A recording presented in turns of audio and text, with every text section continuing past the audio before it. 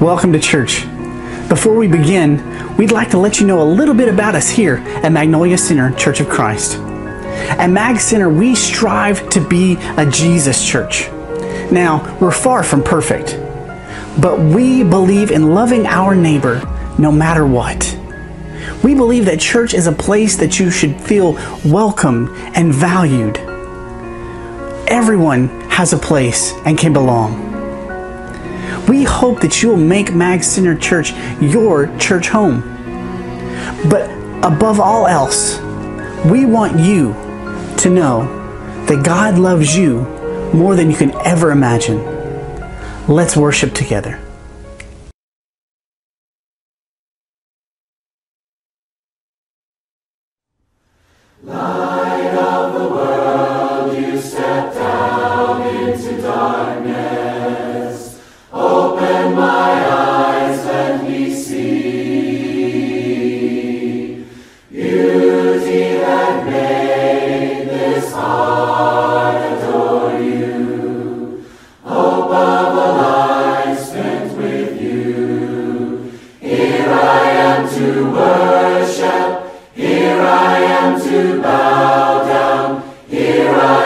The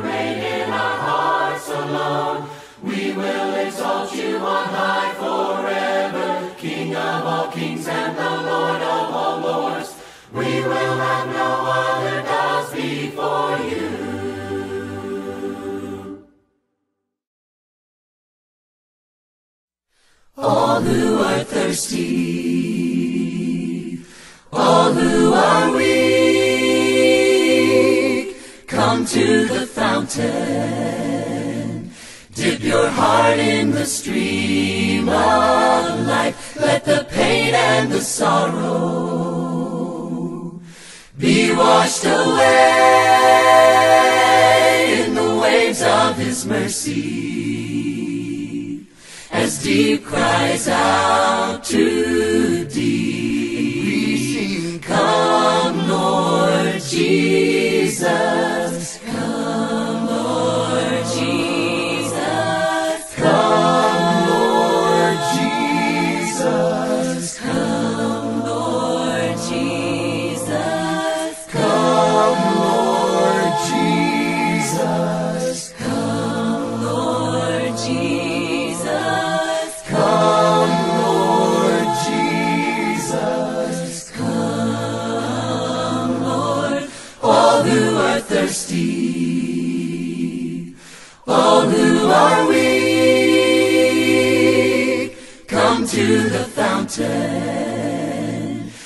your heart in the stream of life. Let the pain and the sorrow be washed away in the waves of His mercy. As deep cries out to deep, we sing, Come, Lord Jesus.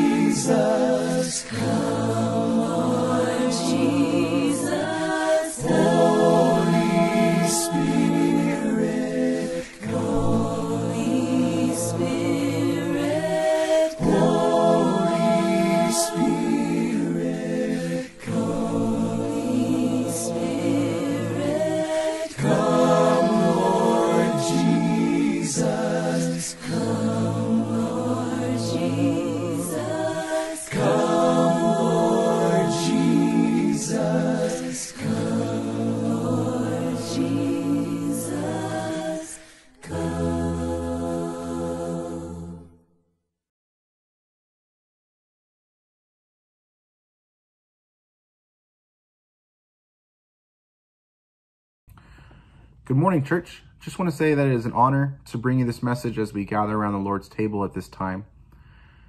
I was thinking about the past events of 2021 amongst all the things that our country and our world have been facing. I realized that in my life, I was filled with times that I could rejoice and also with times of suffering. In just the past year, I watched a close friend of mine join in marriage with the love of his life. I also faced two deaths in my family. I learned that I'm going to be a grandfather, also known as Papa, and I also watched and counseled one of my siblings through a difficult divorce. I enjoyed a week-long road trip with my wife and kids over the summer, and also faced insecurities every day as I looked at myself in the mirror. We all have our ups and we all have our downs in this life, uh, trials of many kinds. You know, some may be facing similar things that I've listed or or you have your own experiences that you are going through now or recently have gone through. Uh, but the one thing that we know for sure has not and will never change is the mercy of God our Father. It is just how we act toward God in these times of suffering that proves our faith in him. Please follow along as I read from 1 Peter chapter 1 verse 3 through 9. Praise be to the God and Father of our Lord Jesus Christ. In his great mercy, he has given us new birth into a living hope through the resurrection of Jesus Christ from the dead, and into an inheritance that can never perish, spoil, or fade. This inheritance is kept in heaven for you, who through faith are shielded by God's power until the coming of the salvation that is ready to be, be revealed in the last time. In all this you greatly rejoice though now for a little while you may have had to suffer grief in all kinds of trials. These have come so that the proven genuineness of your faith, of greater worth than gold, which perishes even though refined by fire, may result in praise, glory, and honor when Jesus Christ is revealed. Though you have not seen him, you love him. And even though you do not see him now, you believe in him and are filled with an inexpressible and glorious joy for you are receiving the end result of your faith, the salvation of your souls. So you see, it is through the genuineness of our faith that we must find Jesus, not just in the ups of our lives, but also in the downs that come along. How we live through our times of suffering is an important reflection of our faith. It says that we are receiving the end result of our faith, which is the salvation of our souls. This is a promise.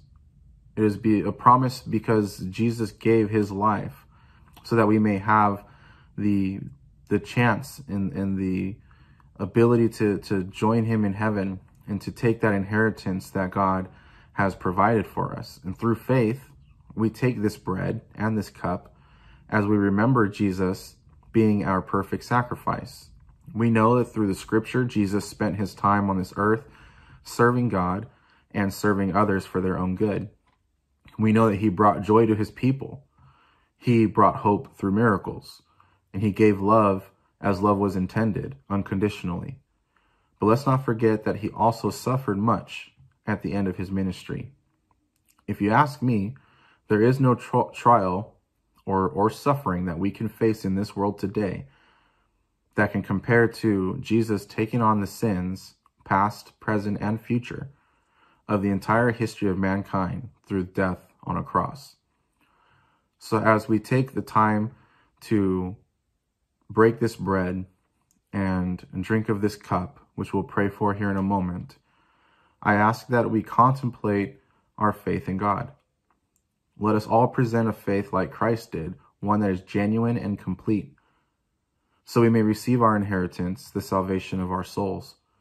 And yes, there be times in life that are difficult, times that bring sadness and fear, doubt, insecurities, and, and all of those negative descriptions of things that we face every day and that are happening around the world and around our homes. But it's through those times and how we act and how we live within those trials that proves the genuineness of our faith in Christ. And let's always just remember there is no trial we can face that can compare to the trial of Jesus facing the cross. Let us pray. Our gracious Father in heaven, we thank you for this time to uh, take of this bread and to take of this cup in remembrance of your Son's loving and willing sacrifice on the cross. We know that you presented him to this world as the salvation and as the hope and as the love that comes only through you, that through mercy and through grace, that you put him in a place of ministry, that he may show the people that he was with, and through your word, show us today what it means to be a follower of you. And we just thank you that your son was willing to serve you and to obey you all the way to the, the time of his death on the cross. That through his resurrection from the dead back to life, we have been given the hope of eternal life and inheritance with you in heaven. I ask that you will bless each person that takes of this bread and of this cup, that we take it in a manner that pleases you, that remembers your Son, and that proves our faith in Christ. It's in Jesus' name we pray. Amen.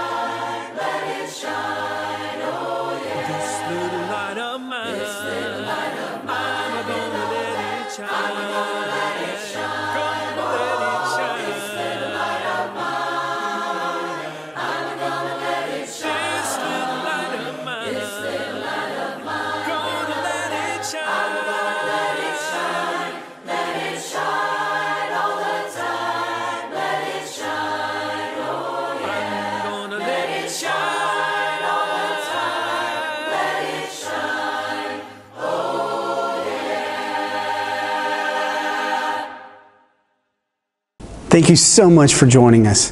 I pray that our time together will help you experience Jesus and share his grace. We're in the middle of our On Your Mark, the Journey with Jesus sermon series. And we last week we were in Mark chapter 3 and we talked about how Jesus healed the man with a withered hand on the Sabbath day. Jesus was talking about how it's always the right time to do the right thing. And so we issued a challenge. The leadership here issued a challenge to the congregation to, to take some time during the week and to reach out our hands to help others who might be in need. And so I'm just so excited about all the stories I'm hearing about how you as a church are individually reaching out to people's lives and, and sharing with them the love of Jesus. This week we have Carolyn Power sharing her story about reaching out a hand and helping someone to share the grace of Jesus and to demonstrate his love. Carolyn, I'd love to hear your story. Good morning, church. This week, Joe's challenge to us has to do with service and how we serve Jesus by serving others. This week's challenge was especially important to me because service is one of my love languages. It's something that is incredibly important to my life, and enough so that I chose a career where I could serve others. So I went into teaching over 20 years ago, and my full focus was on helping students, helping them be better students, helping them be better people, helping them learn. I went into uh, this position that I'm currently in, which is at the district office, um, a little over five years ago. And in this role, I can serve teachers as well as students. And I serve students um, through programs that I run and create. And I serve teachers by giving them support and helping them out. But my job is stressful. Um, and it is intense and it is nonstop. And there are times where I found that um, I just, I'm exhausted by the end of the day. And it's a mental exhaustion because my brain has been fragmented in so many different ways throughout the day, answering this person and helping that person and communicating with a student over here. And I'm just, I'm wiped by the end of the day. And I don't know if any of you guys have ever had this experience where you love to serve, but it drains you, it empties you, it takes everything out of you. And I've learned that I have to fill that back up again. I have to find ways where I can continue to care about the teachers that I serve and continue to care about the students that we collectively serve because that is the heart of of the the role that I have and I am continually serving Jesus by serving these people. One of the ways that I connect that that that getting that filled up is through worship. I love worship. I love singing songs of praise. I love hearing your voices collectively lifting up our God in, in worship and in praise. I love um, being able to express myself through song um, because it is a completely different way of expression than what I get to do on a regular basis through words and through writing and through talking to people. I've also found that I've been given opportunities for others to serve me. And I can remember my grandma said at one point, don't deny somebody the ability to bless you because you're stealing the blessing from them. They enjoy serving you. And so don't deny them that.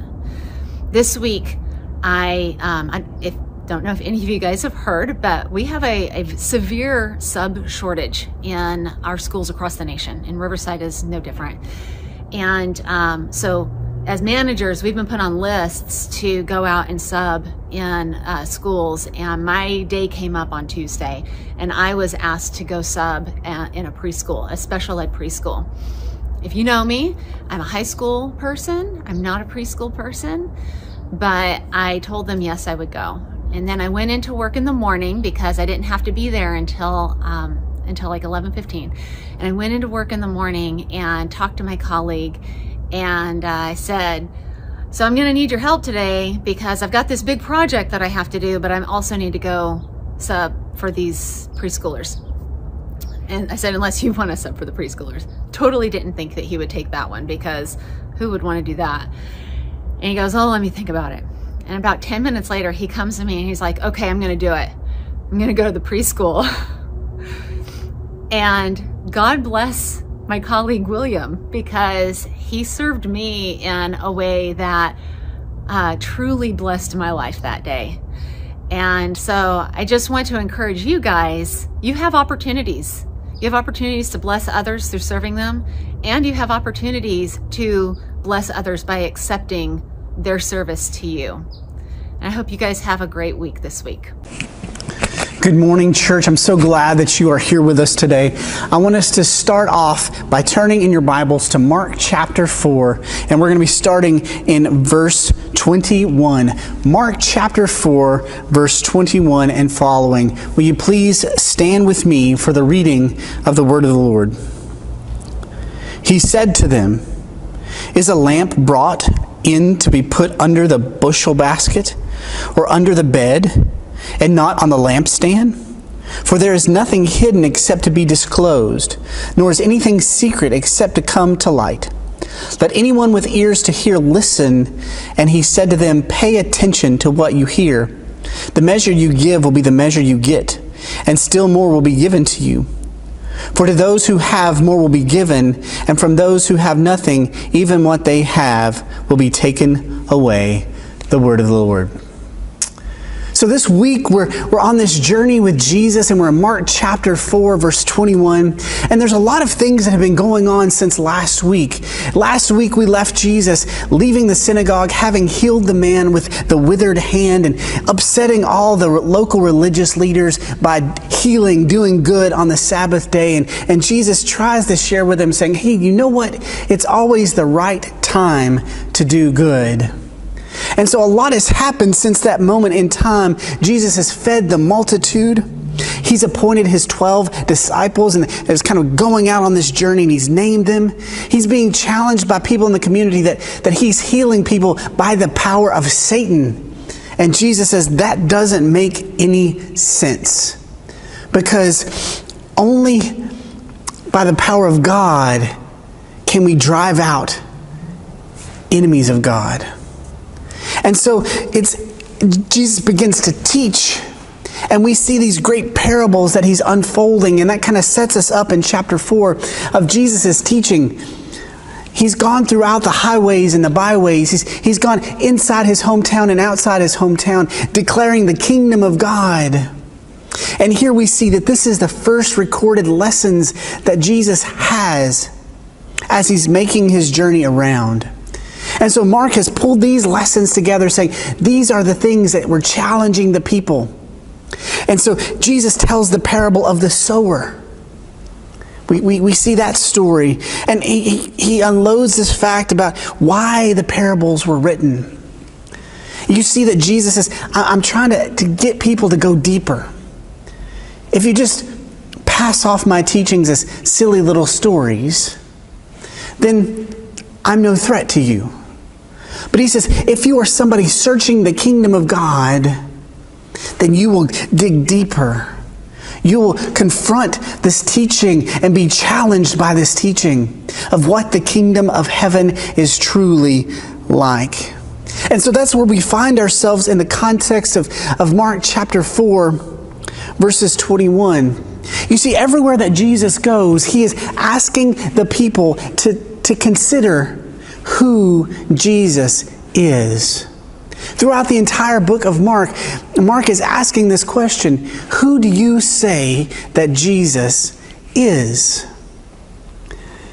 He begins by saying with Mark 1 1 that this is the gospel, the good news of Jesus, the Christ, the King, the Son of God.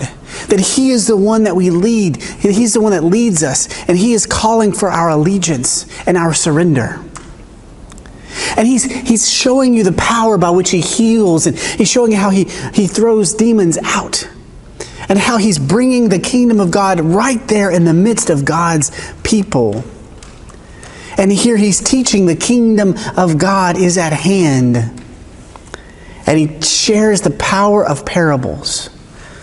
And this week's parable is one that I want us to pay close attention to because I think if we want to follow Jesus, we really need to understand the parable of the light and the lamp and the dark bushel basket.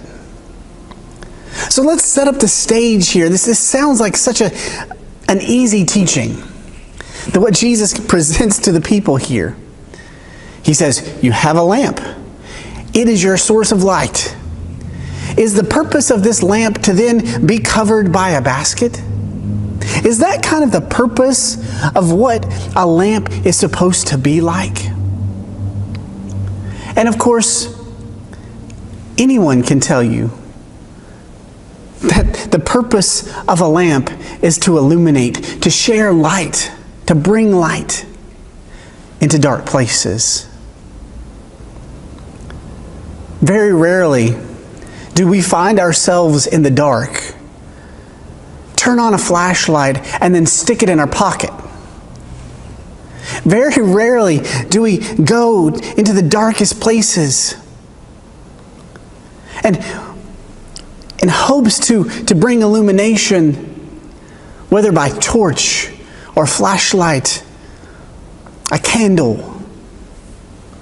Do we take that source of light into the darkness and then do we hide it? Reject the purpose of these light bearers. Why in the world would you cover up the light when you're surrounded by darkness? You see, that's the question that Jesus is asking to his people as he's teaching. He's wanting them to know that something special is going on. The kingdom of God is breaking into the world. And this is good news that needs to be shared with the world. And yet, church, we are to be the light bearers. We are to bring the good news of the kingdom of heaven into this world that is broken, full of pain and suffering and darkness.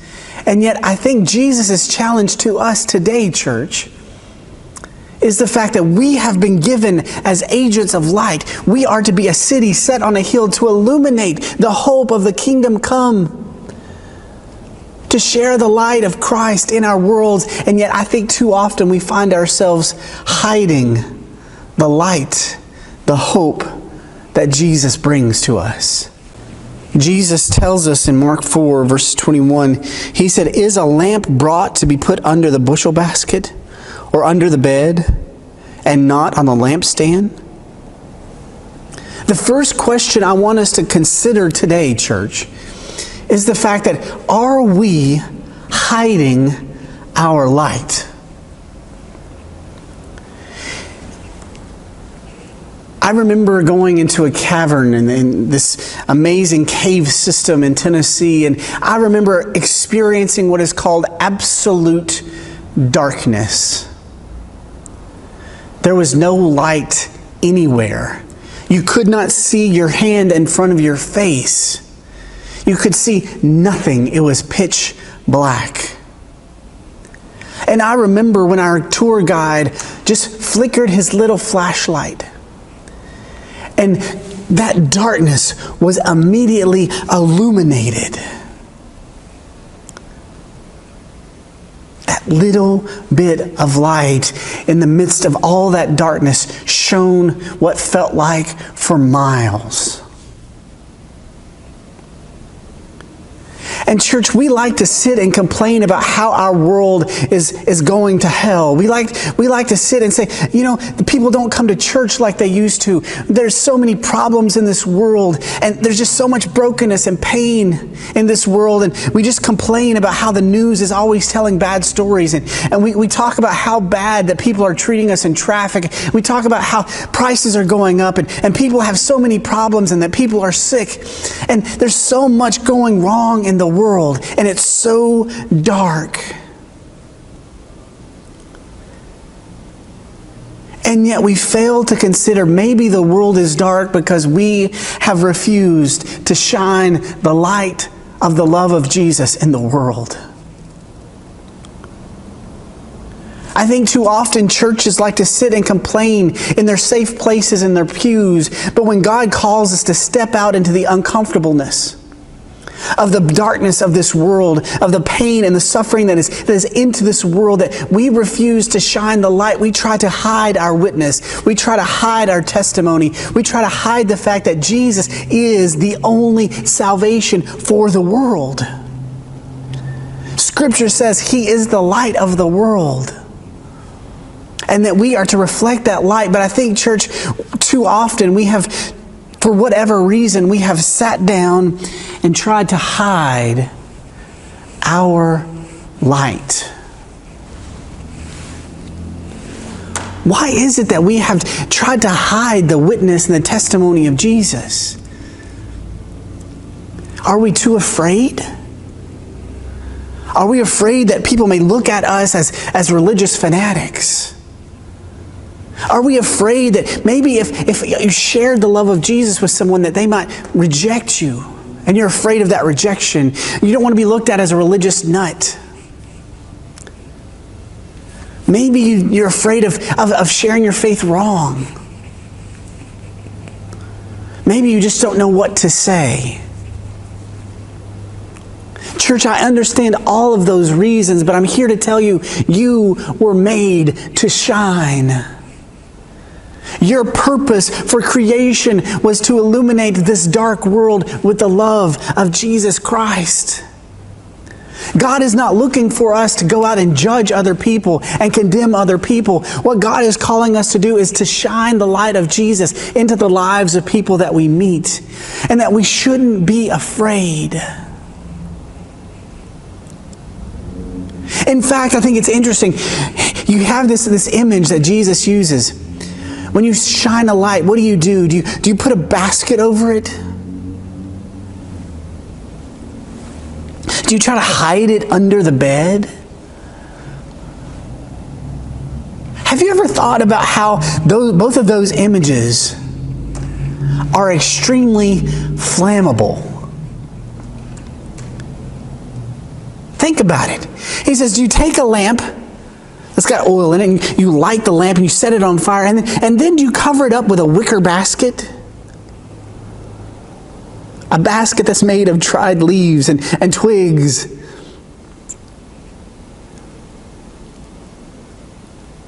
What would happen if you were to put a wicker basket over an oil lamp or over a live candle? It's going to set things on fire because it's not made to be hidden. Can you imagine putting a candle underneath your bed? That's dangerous. And I think what is interesting is that the image that Jesus uses when we try to hide our light actually creates more dangerous situations then we actually fulfill our purpose in illuminating the darkness. We sometimes try to hide our light because we might be afraid of the dangers that it might come. But Jesus says, no, when you try to conceal your light, that's when the danger comes. That's when the threat comes because the world needs your light of Jesus in the world. And God has called us as His people not to be afraid, but to demonstrate in the dark places of our world the ever illuminating love of Jesus Christ. You were created to be a light bearer in a dark world. Boldly illuminate the darkness in this world. The second thing I think Jesus is sharing with us here is this is a lamp brought to be put under the bushel basket or under the bed and not on a lampstand? So you have this beautiful image that your purpose is to shine. And then he goes on and says, For there is nothing hidden except to be disclosed, nor is there anything secret except that which will come to light. Let everyone to hear, let everyone with ears hear and listen. And he said to them, Pay attention to what you hear. The second thing I think Jesus is wanting us to pay attention to number one, church, your purpose is to shine.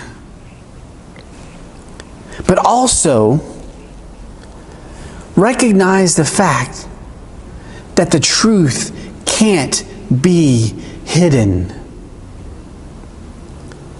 You see, Scripture tells us that God's Word will not return to Him void. As it searches out the earth, that God's Word goes. That it will not return to Him empty. That we cannot hide the truth. I remember the prophet saying, I, I tried to, to hold back the words of the Lord, but I could not because the words of the Lord burned within me and I had to share the truth of God's Word. Church, we live in a world that tries to hide the truth.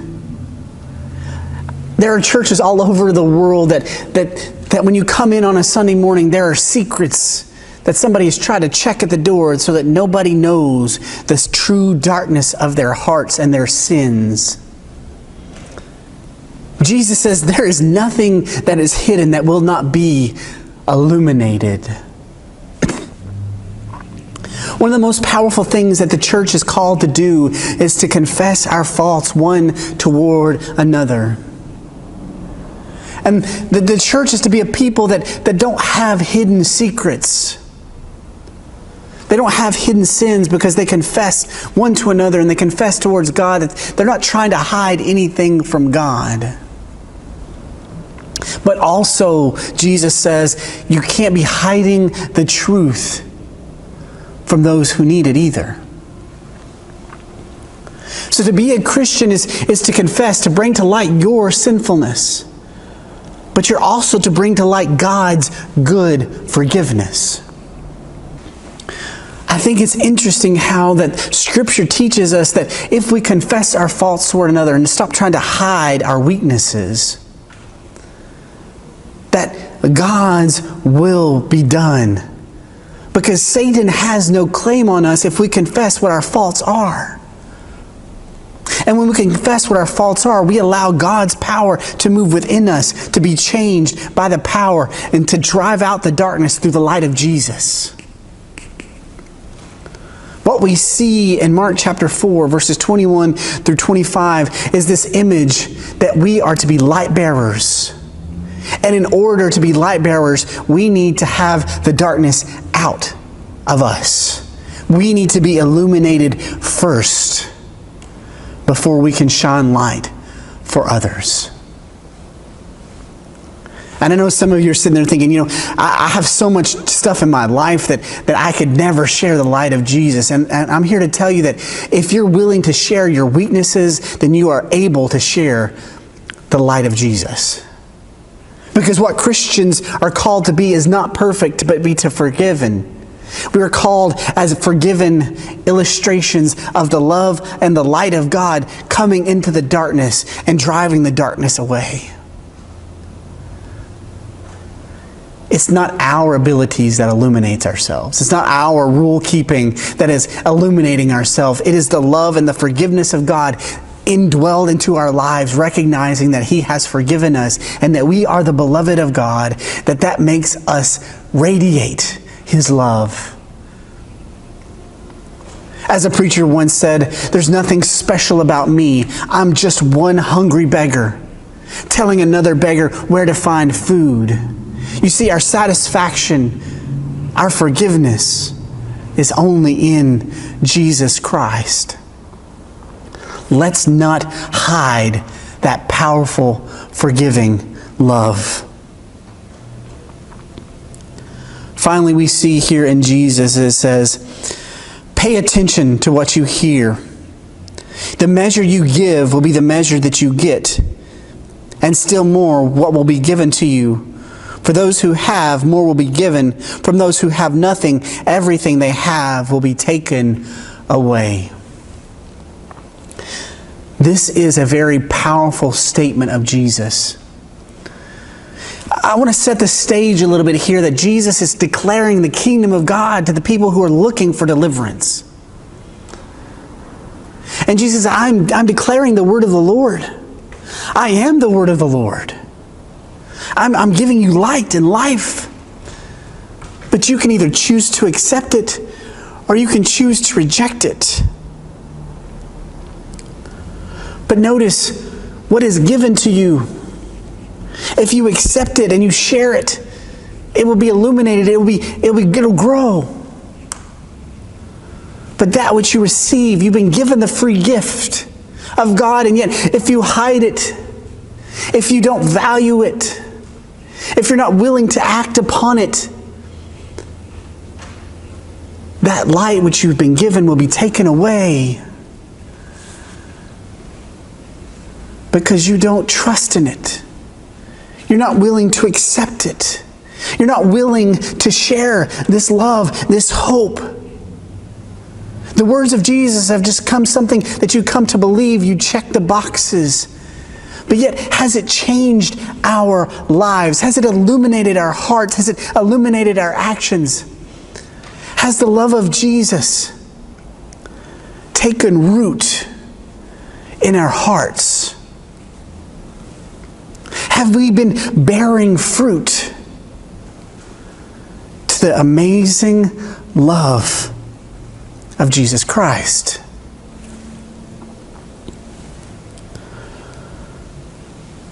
Remember, the whole story of Mark is who do you say that Jesus is? And according to this parable, Jesus wants you to recognize that He is the light and that you are to be light bearers. And that if you truly appreciate and hold on to that light, you will share the love and the hope of Jesus. You will share your weaknesses and testimony about how Jesus' love overcomes sin in your life. And then you live a changed person, letting Jesus' light illuminate your steps along the way. He says that is our hope, that is our joy, that is our purpose. Stop trying to hide the love of Jesus. Stop trying not to tell others about the love of Jesus. Stop refusing to be changed by the love of Jesus. Following Jesus is not a religion, it's a relationship. It's not about doing all the right things at the right times. It's all about following God with your full heart and letting other people see how that Jesus loves you and how it's changing you inside and out. This week is our challenge. Every week we've been challenging our members to, to, to spend some time with Jesus. And this week, this is our challenge. I believe that confession is a beautiful practice of the early church and is commanded of us in Scripture. Now, what do I mean by confession? There's lots of different terminologies and a lot of different definitions of what confession is. Let me define what I'm talking about when I say confession. Scripture tells us to confess your faults one towards another. You see, when we have the power of confession in our lives, we have accountability in our lives. We're willing to own up to our mistakes and we're, we're willing to let the light of God shine in our dark hearts and in our dark places our, that we, we try to hide from everybody else. But when we are willing to confess our faults one towards another, then God's light will shine through us. Your challenge this week is to have a moment of confession with someone you trust in the church. I'm not asking you to declare your deepest, darkest sin and go into all your great details. I challenge you to share with one person this week the struggles that you're having within your faith, the struggles that you're having with bad habits, bad thoughts, bad practices. I want you to pray to God first Give, ask Him to give you the strength to share with someone that you trust. You don't have to go announce it to the entire world. I'm not saying put it on social media and Facebook. I'm saying find a godly person that you trust and confide in them your struggle and have them pray for you as well. Let this be our practice this week as we try to conform to the image of Jesus Christ. May we shine His light in our hearts and in our lives, and may we never hide it again. Let's pray. Our Heavenly Father, I thank you so much for loving us. Thank you for forgiving us and giving the light of Jesus to illuminate our lives. Forgive us when we try to hide that amazing gift. Father, forgive us when we hide sins and secrets in our hearts. May you transform us from the inside out by the love of Jesus Christ. Father, thank you. It's in Jesus' name we pray. Amen. I want to thank you so much for spending time together with us today, and I pray that this time has helped you experience Jesus and to share his grace. Be blessed.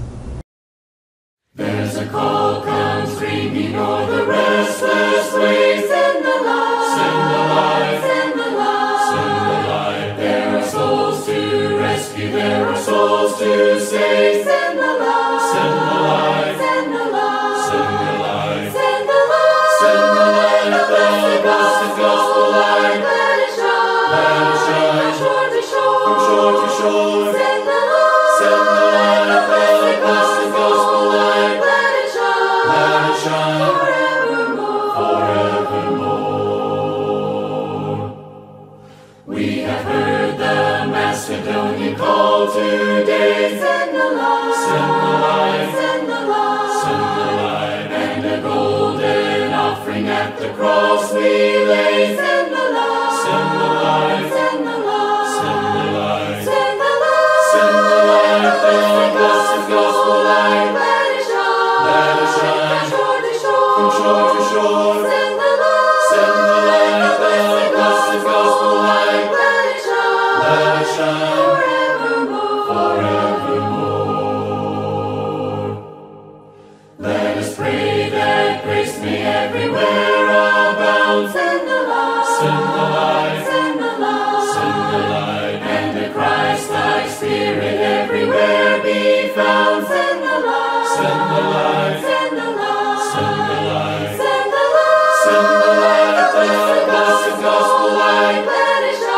Shine.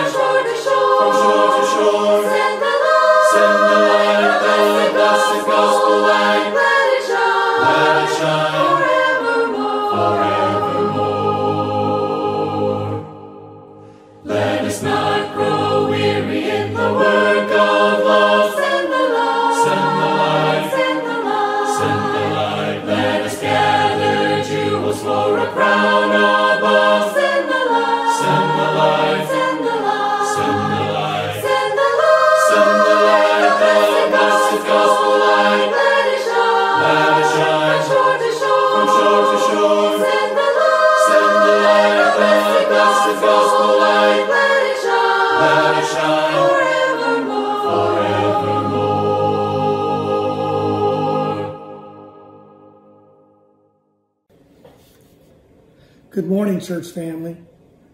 We are so thankful that you're able to join together with us during this time of worship. And I pray that you were blessed during our time together. I also want to say thank you, Joe, for another fine lesson in our journey with Jesus through the book of Mark. And I also have to add thank you to the praise team this morning because they led the song, This Little Light of Mine. As I was discussing with Joe his topic this week, he says, Wayne, easiest way to share it is just why don't you sing the song This Little Light of Mine? And thankfully they did that for me. I didn't want to have to you could have to suffer through that. But it did make me think.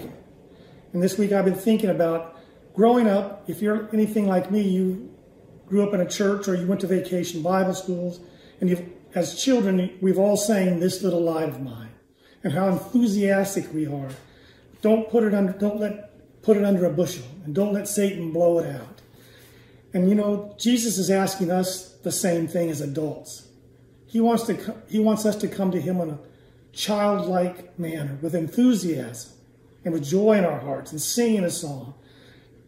Don't put our light out. Don't let Satan blow our light out. Don't hide our light.